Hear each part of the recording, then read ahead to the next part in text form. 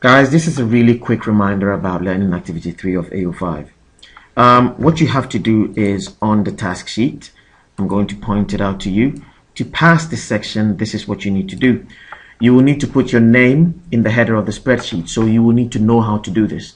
And you will need to add a suitable title for the spreadsheet, okay? Remember when I told you earlier on that a spreadsheet must always have a title.